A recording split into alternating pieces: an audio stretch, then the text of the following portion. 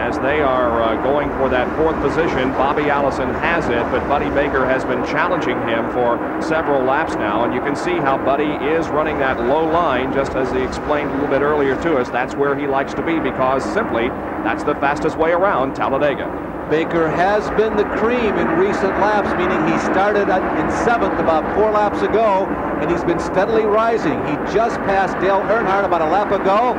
Bobby Allison is next up. Son Davey should be next. You can see Earnhardt, the yellow car still in the picture. But Buddy Baker, who has a lot of sentiment among veteran observers, as one of the real threats. Oh, we Bobby have a problem. Allison is blowing a tire. Bobby Allison with a horrible crash here on the front stretch. It has torn out a complete section of protective railing separating it. Alan Kulwicki becomes involved. Debris and is collecting other cars. There is a lot of debris in the front stretch. Kulwicki was involved. Richard Petty, I think, is another one of the cars. Uh, lots of debris on the front stretch. Now, Bobby's car, to me, appeared to stay together quite well. He didn't get up into the fencing, but not into the stands and it was close though. He has torn out a whole large area of guardrail. There it is, protecting the crowd from the racetrack, and he came very, very close to going into the stands. The car became airborne and went flying literally into that wall and catch fencing, but fortunately it did stay onto the racetrack. Bobby Allison is moving around in the race car, and that is certainly good news for us, but he has to be quite shaken after a tremendous crash. The red flag has been brought out. And quite frankly, Larry, I think we're going we're, to have to yeah. be red for quite a while we because we cannot race with that protective fencing in the shape that it's in. It's just not safe for the spectators. It's pretty obvious uh, why it was there happening, happening right underneath Harold Kinder. Uh, it wasn't the fence that caught him, but they have built the cement wall here at Talladega just a little taller Bobby's than most out. racetracks. There's Bobby getting out of the car. I told you that Bobby's car, though, was heavily damaged. It did stay together. The integrity of the roll cage is intact. The crowd is giving Bobby a, a very warm welcome out of that machine, but the car lived up to NASCAR standards. Larry, I think a tire blew. I think oh, I saw a tire coming apart absolutely. while he was right here in the trioval right nearing rear. the starting line. Right rear, it begins to shred, and the car goes out of control. You're at 210 miles an hour. You can see the right rear going. See the debris there on the left-hand side of your screen. Earnhardt avoids Bobby. The car goes backwards. The aerodynamics get underneath the car, and Allison gets up into the fence. The aerodynamics lifted the car. They're not built to go backwards. Right underneath Harold Kinder. Harold he stayed in there. Boy, I'll tell you, talk about a trooper. Kinder is right there. He's got the yellow flag out right away. That is a veteran, competent flagman. Here comes the rest of the field down. They've decelerated to maybe 180 miles an hour, but all the debris, there's Petty, there's Kulwicki spinning. Uh, there's just nowhere for many of these drivers to go because there's so much of what was left over from the initial impact on the front stretch, and there was just nowhere to go. And tires began to explode too as they ran over debris caused by the Allison crash.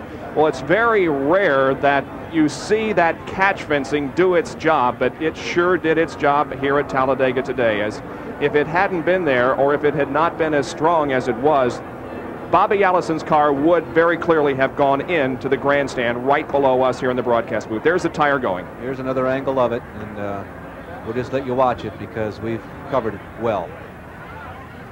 There goes Darrell Waltrip going by without becoming involved in it. But as I said, as the cars came down now, they were running over the debris of the Allison car and tires were blowing. And therefore, they became involved in the crash. There's Petty, Alan Kulwicki, Phil Parsons, Phil Parsons uh, made contact with the Bobby Allison car. We understand that is brand new catch fencing up here, and boy, we just uh, salute the people here at Talladega for building it as strong as they did. There is a stretcher that we can see down there, a couple of stretchers, as a matter of fact, being lifted into the grandstand area, so perhaps there were some spectators that were hit by flying debris. All right, Phil Parsons did make contact with the Bobby Allison car. Let's go to uh, Jerry Punch. Well, Phil Parsons still sitting in the car on pit road. The total, the back of the car is just about sheared away of that Copenhagen Oldsmobile. And Parsons talking to the crew chiefs. Uh, apparently his day is over with. I don't think the car will be fixable. They're going to try to bring it behind the wall. Maybe we'll get a comment with Phil in just a moment and find out exactly what happened down there. All right, so Phil gathering his thoughts, and uh, you can see him sort of gesturing to his crew. I really don't know what happened, but I became involved. There, meanwhile, is the Bobby Allison car that has come to a rest between the start finish line and turn number one. The ambulances are there, the track crews are there cleaning up the debris. Well, we will go inside now, Cale Yarborough's car, and see how it looked to him. There he is following behind Greg Sacks, the Valvoline number 50. The action is beginning to unfold. It's already unfolded up in front of him, and there's Cale trying to weave his way through all the pieces lying on the ground. You can see that Greg Sacks goes into a spin. Greg made a left turn, a right turn. There's Cale. Hmm. He's trying to avoid Rusty Wallace. He goes sideways. He goes up, gets along the outer wall.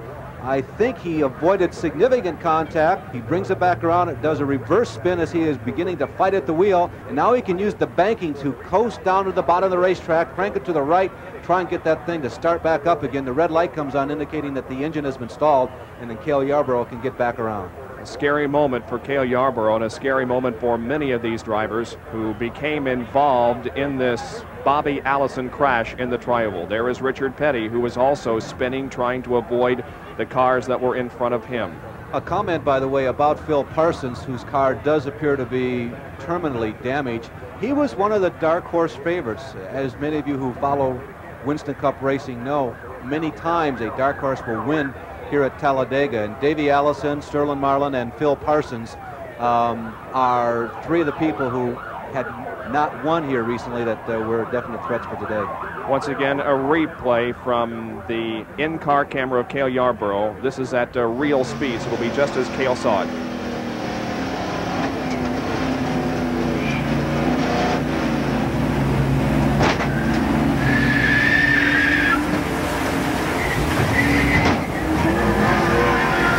As if Cale pretty much had it saved, but was hit a couple of times and then lost control. Yeah, he got hit from behind. There's no question about that. You could hear it uh, with the audio. All right, uh, let's go to Jerry Punch again and uh, Phil Parsons.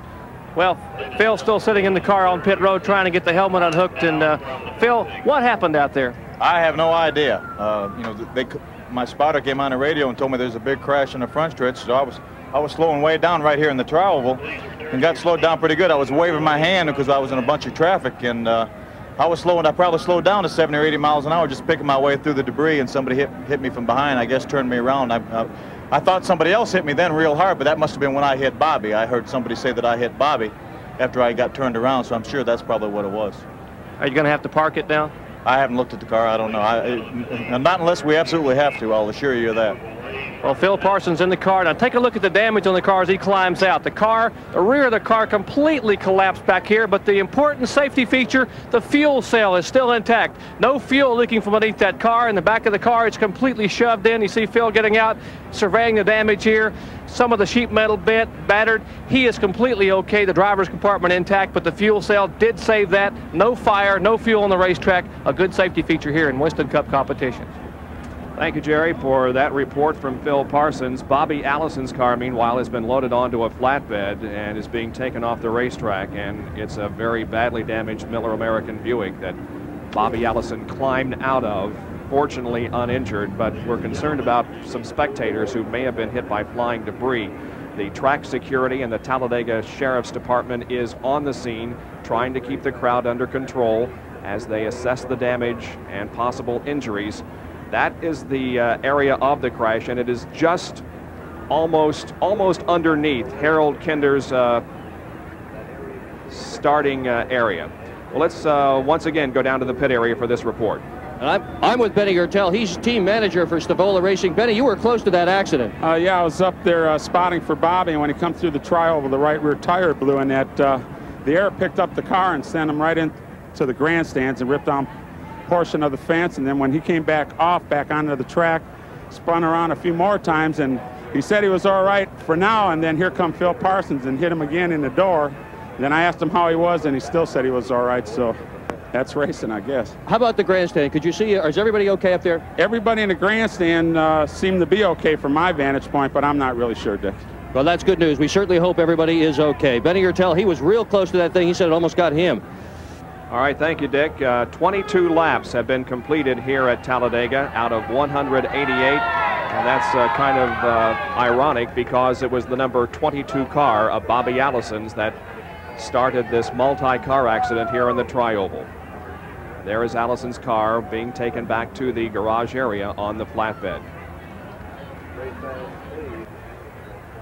Under a red flag at Talladega with 22 of 188 laps completed, there the top five. Terry Labonte, Bill Elliott, Davey Allison, Buddy Baker, and Dale Earnhardt. We are under red because of a terrific crash here on the Tri-Oval as Bobby Allison's car blew a tire, but Bobby is okay. You can see him walking around right there, smiling now after gathering his thoughts and calming down just a bit. Well, Bobby Allison just walked out of the infield care center. First of all, Bobby, are you okay? I'm okay. Uh, very thankful to the good Lord that I'm not hurt, and I hope nobody else down there is hurt too bad. What happened down there? Uh, I think I ran over something. I couldn't really tell. Something bounced under the car, and then uh, the tire uh, exploded. And uh, I think I ran over something and cut my right rear tire down, and it spun the car in the tri-oval there, and up in the air it went, and round backwards. So just nothing I could do. Any recollection of hitting the fence or who might have hit you when you came down? Well, I knew I hit the fence, and uh, yeah, I recall that quite well. I don't know who else was involved, and I'm uh, very disappointed anyone was involved. I'm very sorry about that. Well, Bobby Allison, a true champion, even in defeat here at Talladega.